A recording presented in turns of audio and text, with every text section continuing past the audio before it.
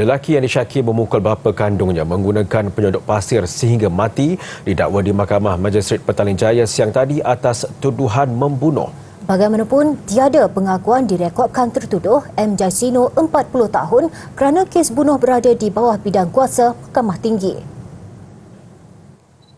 Jaisino yang juga penganggur didakwa membunuh I Manggalam 74 tahun di sebuah rumah di Taman Datuk Hormat Petaling Jaya pada jam 2.15 pagi 26 Ogos lalu. Pendakwaan mengikut Seksyen 302 Kanun Keseksaan dan dibaca bersama Seksyen 34 Kanun sama yang membawa hukuman gantung sampai mati. Majistret Syahri Anwar Ahmad Mustafa menetapkan 6 Oktober depan untuk sebutan kes. Terdahulu, mayat seorang warga emas ditemukan berbalut langsir dipercayai mati akibat dibelasah anak kandung sendiri di kediaman mangsa. Suspek yang dipercayai disertai mabuk bertindak memukul bapanya kerana tidak berpuas hati terhadap mangsa yang selalu menghina dan memberi tekanan kepada suspek yang malas bekerja.